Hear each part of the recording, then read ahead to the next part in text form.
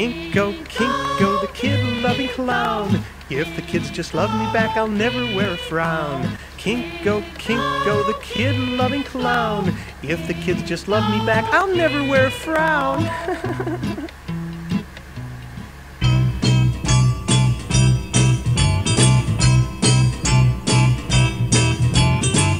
Sunny day, sweeping the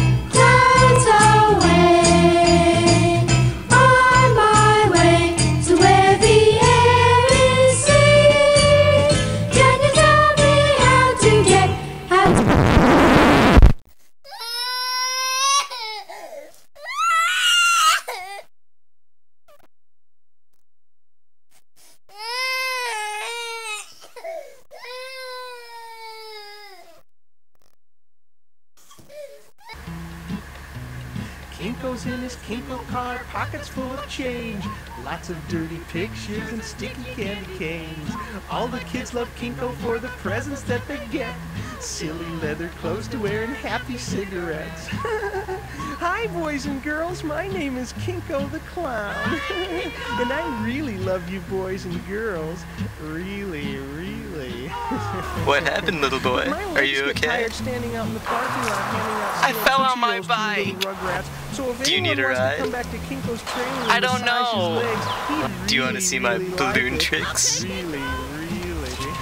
Yeah. Kinko, Kinko,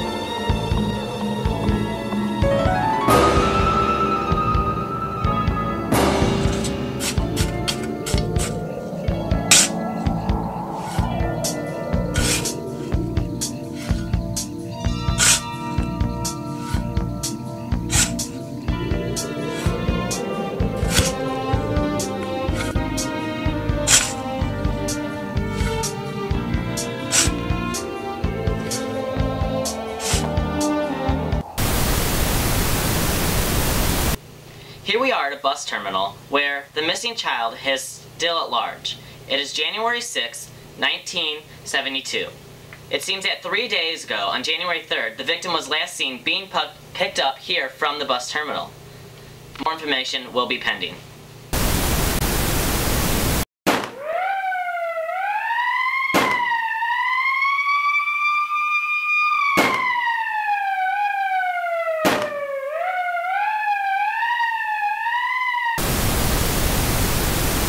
We are Graceland, 1977.